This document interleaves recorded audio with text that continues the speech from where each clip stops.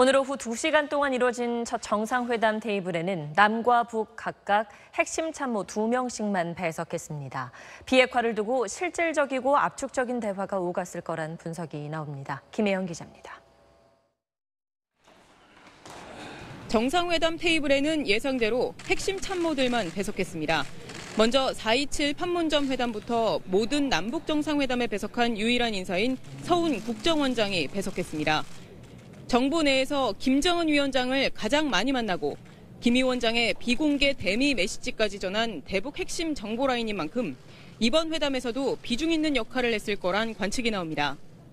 서훈 국정원장과 특사단 투톱으로 불리는 정의용 안보실장도 배석했는데 정 실장은 미국 통으로서 북미 간 비핵화 협상의 핵심 가교 역할을 하고 있다는 평가입니다.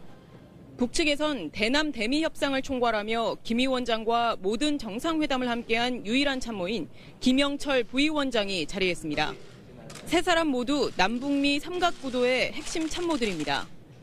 비핵화라는 핵심 의제에서 밀도 높은 대화가 이루어졌을 거란 분석이 나오는 이유입니다.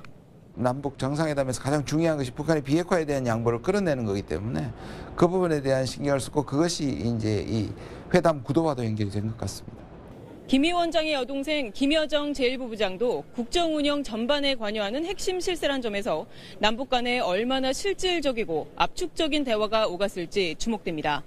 SBS 김영입니다.